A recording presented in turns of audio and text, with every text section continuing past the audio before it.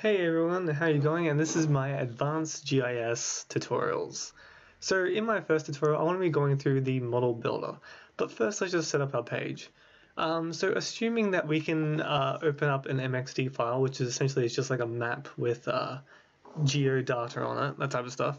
Assuming that you can do that, you can then move ahead into using ArcCatalog, which essentially allows ArcMap or ArcCatalog, um, ArcGIS, any of these programs, um, to find where your data is. So in order to do that, you just have to press the ARC catalog or just the catalog button up here.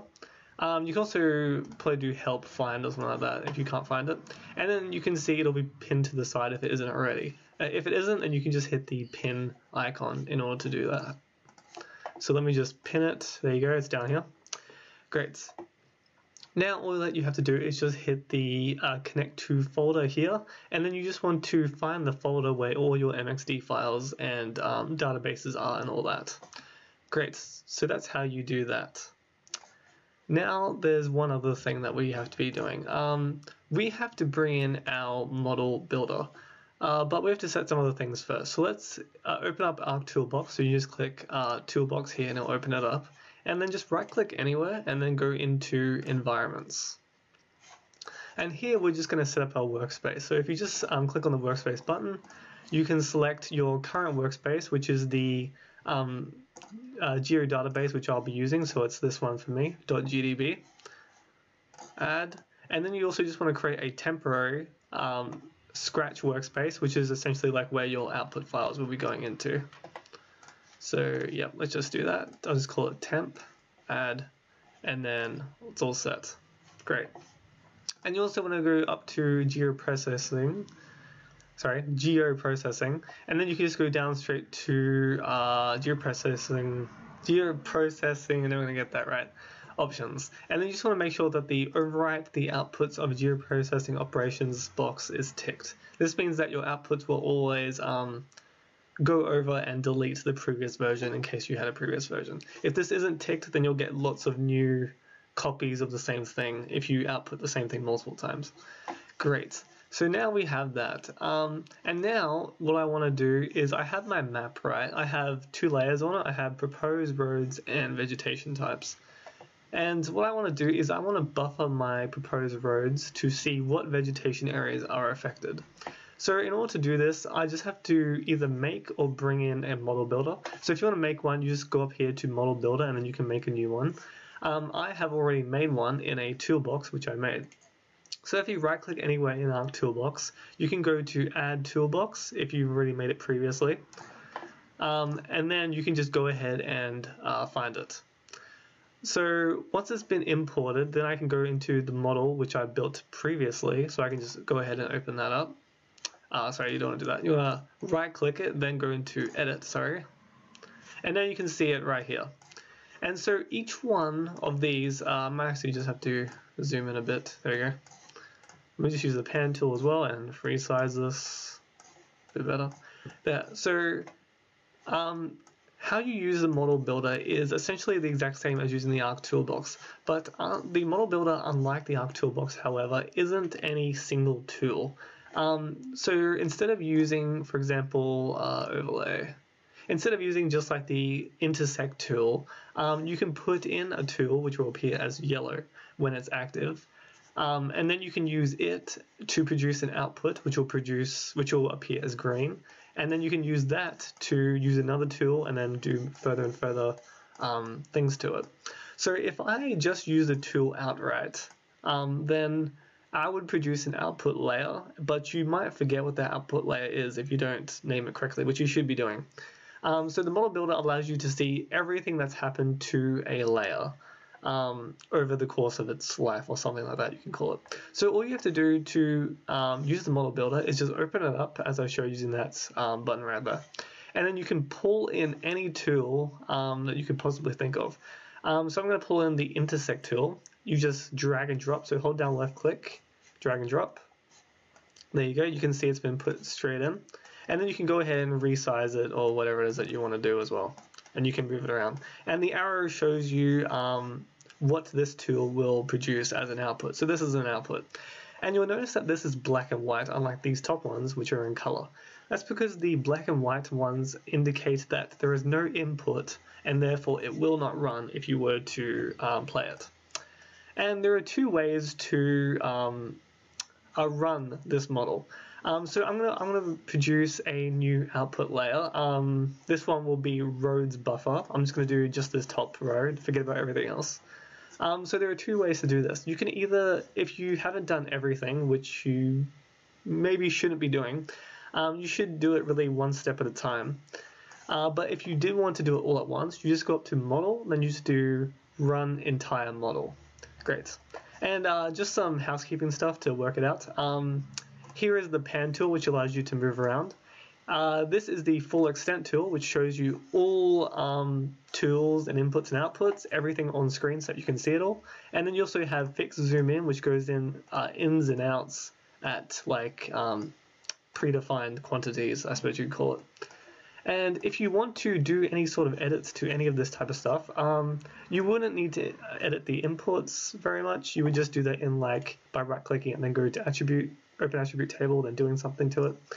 Um, but if I want to add, edit the tool to um, produce an output of some manner, I could just go ahead and right click the buffer tool, for example. Uh, then I go down to, uh, I think it's properties, is it? No, it's not properties, it's um, make variable, blah, blah, blah, blah, blah. Oh, and you can just double click on it, there you go. Yeah, so just double click on it, and then you can open the show help button, and then it'll give you a description of every single line um, in order to use this tool properly. So as soon as you open the tool, the first help you'll have is what the tool actually does. For example, this is the buffer tool. It has three, uh, sorry, uh, it can have any number of point inputs, uh, or also line inputs, which it doesn't explain here. Um, around input features, it just says input features, so points or lines. Um, I think polygons, polygons also as well. And then you can create two types of outputs. One is the dissolve type none and dissolve type all. So the none is where, for example, a bunch of points will produce a buffer around them in non-connected groups. Whereas if you select the dissolve type to all, all buffers will be connected into one. And so if you click on any single line, you'll notice that the help uh, help bar, help location, will change depending on how best to um, help you uh, setting setting some parameter or something like that. Hey guys, and sorry about that. I just found out that I was in the wrong model builder, um, so I brought up the right one, which I got here. Um, so this one will actually work now. Um, I should also say one other thing just before I run it, and that's if, if, if you're trying to look through all the ARC toolboxes for that one tool that you're trying to look for, let's just say you're trying to find the buffer tool, um, well, you can open the search panel and then you can just go ahead and type whatever it is that you're looking for in without having to search for it again. Uh, that's three that's why. Two if you just go ahead and search that, um, I can find, for example, the buffer analysis tool, and then I can just go to right click and then locate in catalog, and then you can find exactly where that tool is. So then I can just drag and drop and bring it in if I wanted to do that. But I'm not going to, so I can just go ahead and delete these.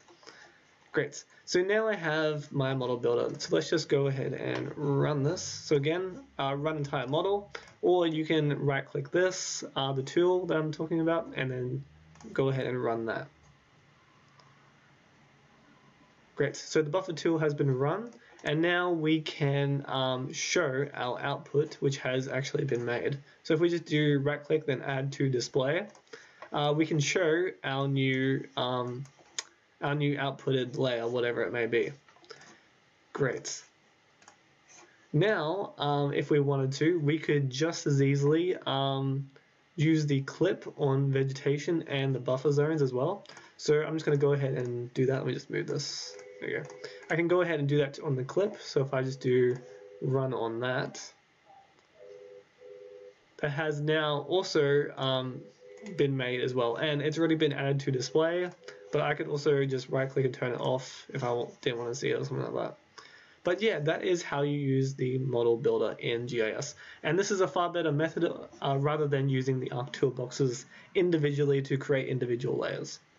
And now what I want to do is I want to be selecting, say, um, certain vegetation types, not all vegetation types, just certain ones, um, around those roads in those buffer zones. So I'm just go up to the selection tab and then go to um, select by attributes.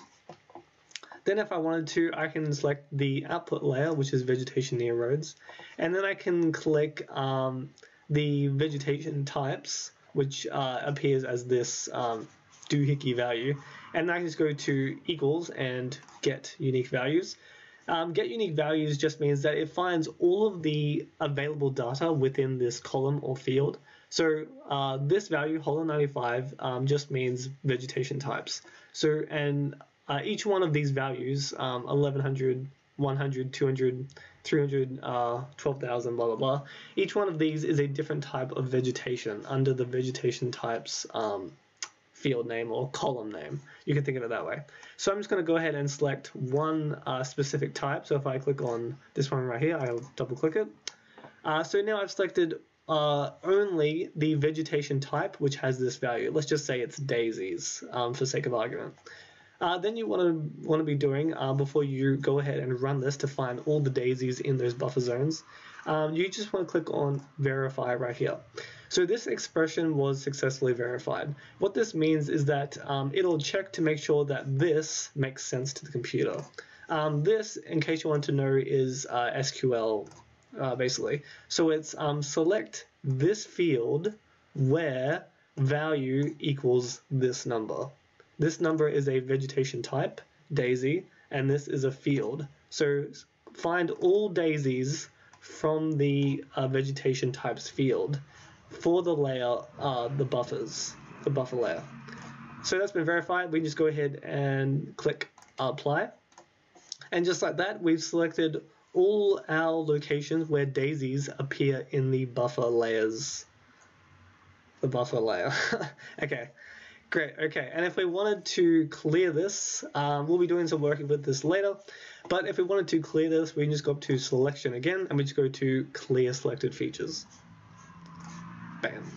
Okay, guys, uh, hold on to the series because it's going to get a lot more important doing some advanced GIS to help you guys using ArcMap as a program.